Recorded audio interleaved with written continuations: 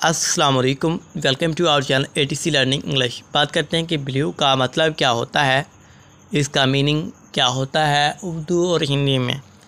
अगर अभी तक आपने हमारे चैनल एटीसी लर्निंग इंग्लिश को सब्सक्राइब नहीं किया तो ज़रूर सब्सक्राइब कर दीजिएगा।